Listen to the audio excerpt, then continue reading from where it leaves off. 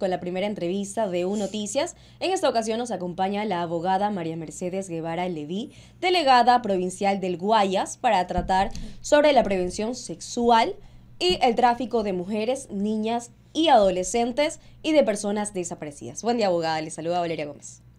Hola, buen día Valeria, mucho gusto, muchísimas gracias por la invitación. La verdad es que estoy muy contenta de venir a mi universidad. Aquí estudié, entré en el año 2000 a estudiar Derecho, me gradué en la Facultad de Jurisprudencia de la Universidad Católica, así que bueno, muy contenta de estar aquí con ustedes. Hace ya más de un año que estoy como delegada provincial de la Defensoría del Pueblo de la provincia del Guayas.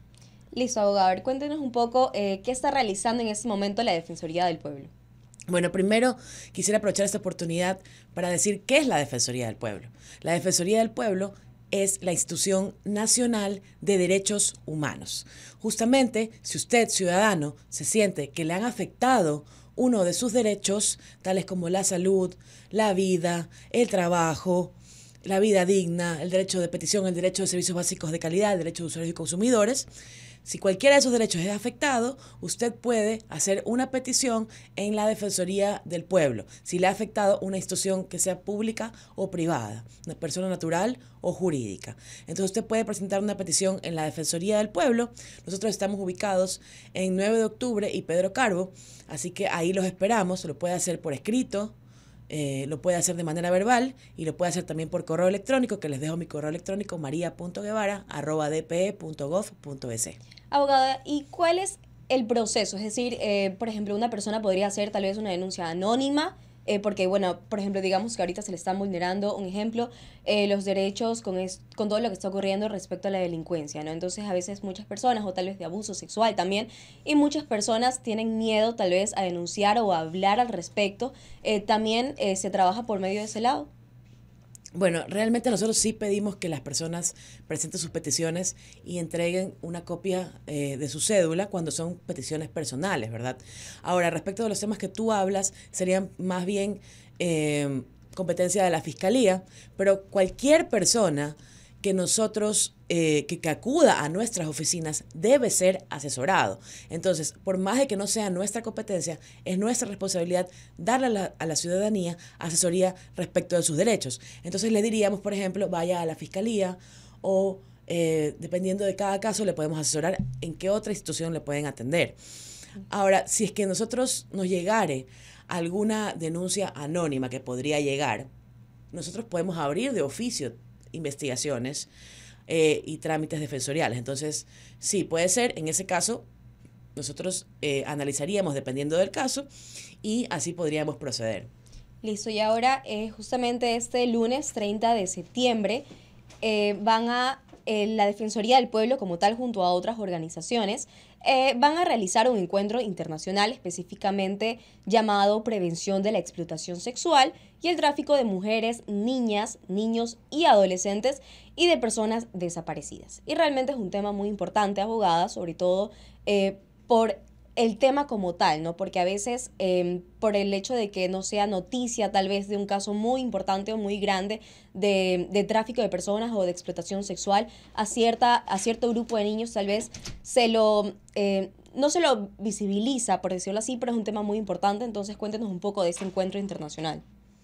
Bueno, si la trata de, de personas es un tema muy doloroso que está sucediendo en nuestra sociedad.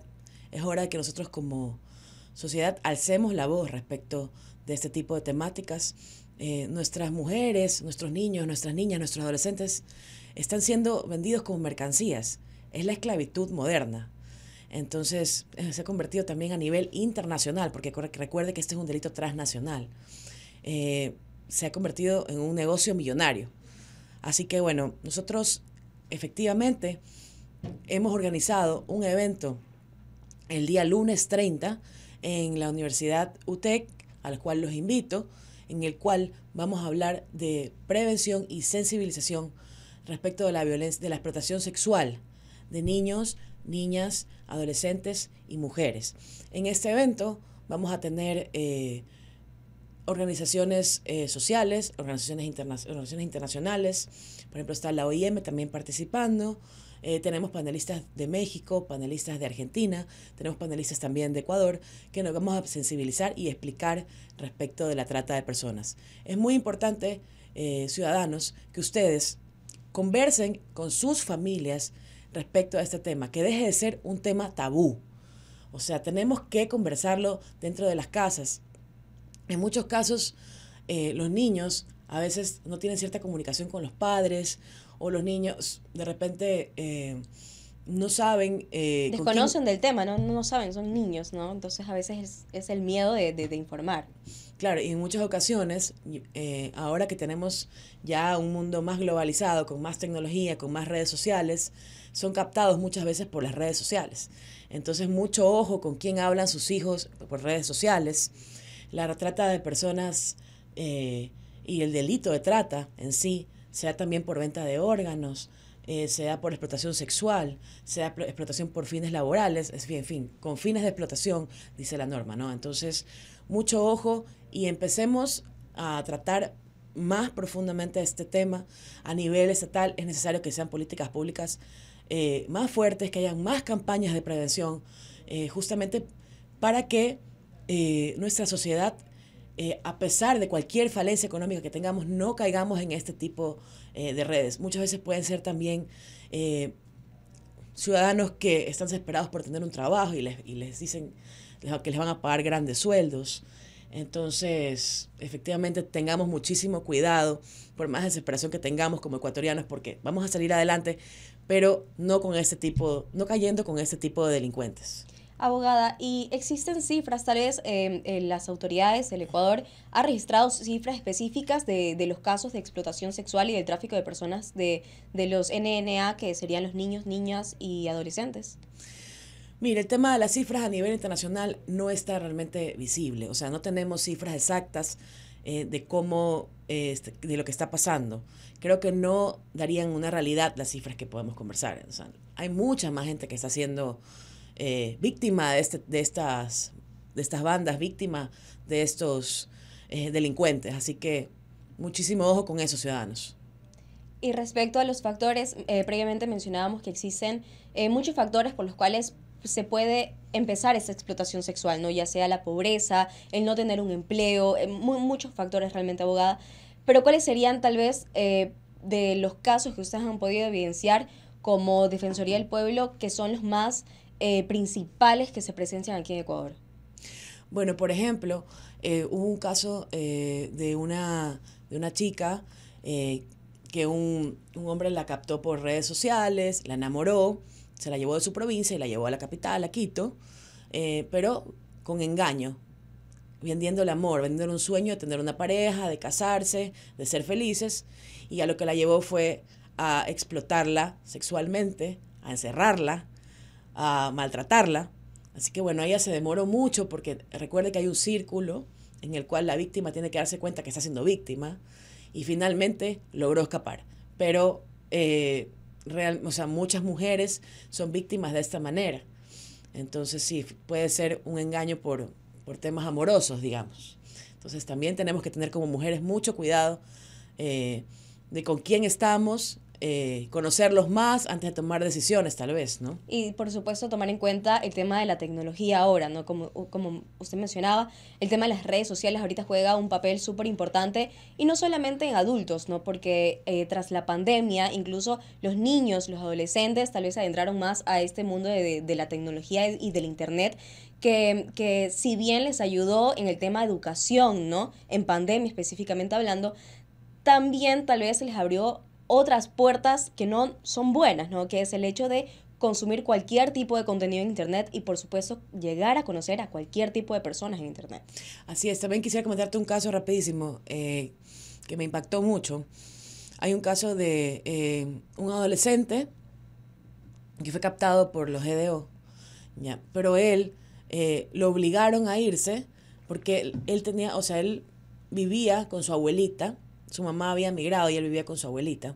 Y su abuelita para mantenerse vendía caramelos. Entonces, era, o sea, le dijeron, si usted no viene con nosotros, vamos a matar a tu abuelita, vamos a, quitarle el negocio a tu abuelita de los caramelos, vamos a... Entonces él se vio obligado a irse con los GBO. Luego eh, cometió un delito, luego posteriormente en otra provincia que se lo llevaron, cometió un delito y ahí pudo contarle a la policía cómo él había sido captado por las, por las bandas. Entonces él no era realmente eh, que era un delincuente, él era una víctima de trata también. Entonces eso también hay que tenerlo muy en cuenta. Nuestros jóvenes también están siendo captados por las bandas sin su consentimiento, con fines de explotación. Entonces también ellos son, están siendo víctimas. Y abogada, tal vez, eh, la verdad es que me ha dejado igual un poco impactada los casos que he mencionado, pero también el hecho de que no existan las cifras como tales, ¿no? Y tal vez las pocas cifras que hay no evidencian la realidad como, como usted brevemente mencionaba. Em, ¿Y qué hace falta en Ecuador? ¿no? ¿Qué hace falta para que haya este registro realmente de, de, todos los casos, o por lo menos de la mayoría, el poder ayudar a estas víctimas, a los niños, a los, a los adolescentes y, por supuesto a las mujeres adultas que no, eh, no, no salen de estas cifras porque también son muy importantes, porque también son víctimas. Entonces, ¿qué hace falta? Políticas públicas, eh, tal vez cambiar eh, algunas reformas, ya sea lo penal, los derechos humanos, ¿qué hace falta? Bueno, realmente yo creo que para que, para que este tema tenga la importancia, debe, estar, debe ser una política pública de primer nivel, que el Estado lo, tenga en cuenta, que invierta en planes y campañas de prevención, de sensibilización, y obviamente necesitamos en general una economía mejor para la gente, para las personas. Tengo entendido que más del 50% eh, de ecuatorianos está pensando en migrar. Entonces, bueno, efectivamente necesitamos mejores condiciones de vida en general pero sí un plan estratégico, una campaña de sensibilización. Y nosotros no solamente esperemos del Estado, nosotros tenemos que participar. Entonces, aprovechemos cada espacio que tengamos para conversar de este tema, para sensibilizar y profundizar y saber qué es algo que está pasando. Y por favor, no seamos capaces de mandar a nuestros hijos con coyoteros, o sea, con, con delincuentes, por más de que los estemos extrañando en otra parte del mundo. O sea, es muy riesgoso, es un delito y no saben todo lo que les puede pasar a sus hijos en ese camino. Realmente es muy preocupante. Realmente sí, sobre todo ahorita con el tema de que usted mencionaba de la migración, que muchos ecuatorianos están al no tener visa y, y el verse un poco atrapados de la situación actual en la que están viviendo aquí en el Ecuador, eh, lamentablemente eh, se van del país y en las peores condiciones, con gente que realmente no conocen y ahí también es que viene la problemática que estábamos mencionando. Pero, abogada, muchísimas gracias por la entrevista. Por cuestión de tiempo es momento de culminarla. Pero, por supuesto, invitado para una próxima ocasión para seguir hablando de este tema que realmente es muy importante. Sí, quisiera aprovechar esta oportunidad también para dejarles mis redes sociales. Eh, me pueden encontrar, yo doy muchísimos tips también respecto de, derecho, de respecto a derechos humanos. Estoy como arroba la Meche Guevara. Y también recordarles el evento del lunes 30 respecto de prevención de explotación sexual de niños, niñas y adolescentes y mujeres. Muchísimas gracias por la invitación. Estoy feliz realmente de estar en, aquí en mi universidad. Muchísimas gracias a usted, abogada.